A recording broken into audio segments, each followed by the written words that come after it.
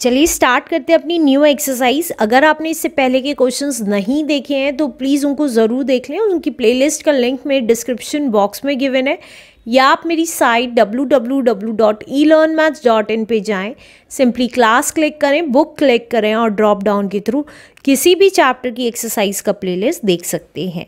इस क्वेश्चन में कह रहा है if 48 man can dig a trench in 14 days अगर 48 मेंस खाई खोद सकते हैं 14 डेज़ में how long will 28 man take to dig a similar trench तो सेम खाई को खोदने के लिए 28 मेंस को कितने डेज़ रिक्वायर्ड हैं, ये बताना है। तो कैसे निकालेंगे? देखिए, यहाँ पे भी मैन दे रखा है और यहाँ पे भी। तो मैन लेफ़्ट पे लिखेंगे तो 48 man can dig a trench, dig a trench in 14 days. 48 mens trench को डिग 14 डेज़ में कर सकते हैं। तो एक मैन अगर होगा तो कितने दिन में डिग कर पाएगा? कैन डिग अ ट्रेंच इन अब एक चीज़ देखिए, ज़्यादा लोग एक काम को कम दिन में कर पाएँगे, लेकिन अगर एक ही आदमी वो काम करेगा तो ज़्यादा दिन में कर पाएगा राइट right? उसको बहुत ज़्यादा दिन लगेंगे उस काम को फिनिश करने के लिए मान लीजिए, दस लोग किसी काम को सिक्सटी डेज़ में कंप्लीट करते हैं राइट right? तो एक आदमी कितने दिन में काम कंप्लीट करेगा सिक्सटी डेज़ का काम दस लोग करते थे तो एक आदमी कितने दिन में करेगा देखिए, दस लोगों को टाइम कम लगेगा किसी भी काम को करने के लिए, लेकिन एक आदमी को इससे बहुत ज़्यादा टाइम लगेगा। तो ज़्यादा टाइम कब लगता है? जब हम मल्टीप्लाई कर देंगे राइट ज़्यादा के केस में हम मल्टीप्लाई करते हैं। हमेशा याद रखिएगा। अब इसी तरीके से अब यहाँ देखिए 48 मेंस को एक खाई खोदने के लिए 14 डेज़ लगते हैं। तो एक आदमी अगर वो खाई खोदेगा तो कितने दिन लगेंगे? ज़्यादा दिन लगेंगे? तो 48 एट इंटू फोर्टीन डेज़ लगेंगे एक आदमी को उस ट्रेंच को खोदने के लिए। अब वो कह रहा है, अगर सेम ट्रेंच को 28 मैंस खोदेंगे तो कितने दिन लगेंगे? तो 28 man can dig a trench in तो देखिए, अगर एक मैन को ज़्यादा दिन लगेंगे तो 28 मैंस को फिर से कम दिन लगेंगे। तो कम के केस में क्या होता है? डिवाइड होता है राइट तो 48 एट इंटू फोर्टीन और डिवाइड कर देंगे 28 से। तो इतने डेज़ लगेंगे।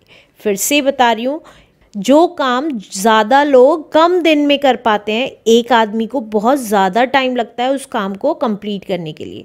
तो ज़्यादा का मतलब मल्टीप्लाई अब फिर से अगर एक आदमी वो काम ज़्यादा दिन में कर पा रहा है तो ज़्यादा लोग उस काम को कम टाइम में कर पाएँगे।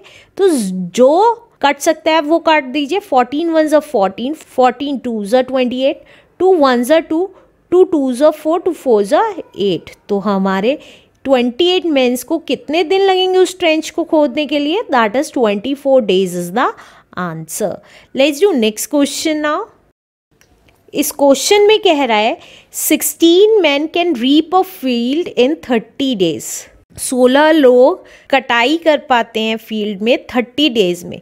How many man must be engage to reap the same field in twenty four days तो ट्वेंटी फोर डेज़ में कितने मैन रिक्वायर्ड होंगे उस फ़ील्ड में कटाई करने के लिए?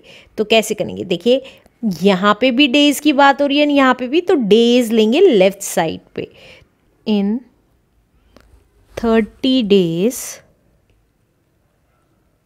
a field can be reap by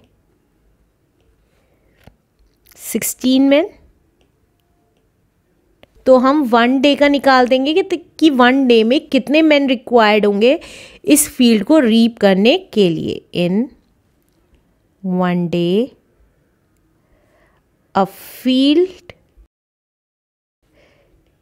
can be reap by देखिए, तीस दिन में कम लोग रिक्वायर्ड हैं फ़ील्ड को रीप करने के लिए। लेकिन एक दिन में ज़्यादा लोग रिक्वायर्ड होंगे फ़ील्ड को रीप करने के लिए तो ज़्यादा के केस में हम क्या करते थे? मल्टीप्लाई कर देते थे। इतने मैन रिक्वायर्ड हैं राइट अब हमें कितने डेज़ का निकालना है? अब निकालना है कि ट्वेंटी फोर डेज़ में कितने लोग रिक्वायर्ड होंगे सेम फ़ील्ड को रीप करने के लिए। तो in twenty four days a field can be a field can be reap by reap by field कितने लोग रीप कर पाएँगे? देखिए, एक दिन में ज़्यादा लोगों की रिक्वायरमेंट होगी सेम फ़ील्ड को रीप करने के लिए और ज़्यादा दिन में कम लोगों की रिक्वायरमेंट होगी सेम फ़ील्ड को रीप करने के लिए। तो कम के केस में हम क्या करते थे? डिवाइड तो हम ट्वेंटी फोर से डिवाइड कर देंगे। इतने मेन रिक्वायर्ड हैं। अब जो कैंसिल होता है, उसको कैंसिल कर देंगे। थ्री वन ज़ा three and zero three eight ज़ा ट्वेंटी फोर एट वन ज़ा एट एट टू ज़ा सिक्सटीन तो इसका मतलब टू इंटू टेन मैन कहें या ट्वेंटी मैन कहें, बात एक ही है। तो हमारे ट्वेंटी मैन रिक्वायर्ड हैं ट्वेंटी फोर डेज़ में इस फ़ील्ड को रीप करने के लिए। Answer let's do next question now अब इस क्वेश्चन में कह रहा है forty five cows can graze a field in thirteen days forty five cow field में तेरह दिन तक घास खा सकती है। How many cows will graze the same field in a nine days तो कितनी काउज रिक्वायर्ड हैं सेम फ़ील्ड को गेज करने के लिए नाइन डेज़ में? तो देखिए, यहाँ पर भी डेज़ है और यहाँ पर भी डेज़ है। तो डेज़ हम लेफ़्ट साइड लेंगे। तो in thirteen days a field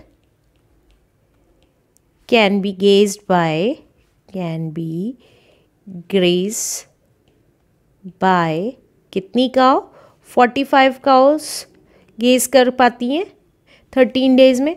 तो एक दिन में कितनी काव गेज कर पाएँगी? In one day a field can be graze by देखिए, ज़्यादा दिन में कम काउस गेज कर पाएँगी, लेकिन एक दिन में ज़्यादा काउ गेज कर पाएँगी फ़ील्ड तो ज़्यादा के केस में क्या करेंगे? फोर्टी फाइव की मल्टीप्लाई कर देंगे थर्टीन में राइट ज़्यादा दिन में कम काव खा पाएगी, लेकिन एक दिन में ज़्यादा काव चाहिएँगे उस फ़ील्ड को गेज करने के लिए तो ज़्यादा के केस में हम मल्टीप्लाई कर देते हैं। अब हमें ये बताना है कि नाइन डेज़ में कितनी काउस चाहिएँगी। तो in nine days, a field can be graze by देखिए, एक दिन में ज़्यादा काव चाहिए, ज़्यादा दिन में कम काव चाहिएँगी। तो कम के केस में क्या करते हैं हम? डिवाइड बाय नाइन इतने काउस चाहिए। तो अब जो कैंसिल होता है, उसको कैंसिल कर देंगे। नाइन वन ज़ा नाइन नाइन फाइव ज़ा फोर्टी फाइव तो इसका मतलब five into thirteen that means sixty five cows चाहिए। नाइन डेज़ में उस फ़ील्ड को गेज करने के लिए answer. Let's do next question now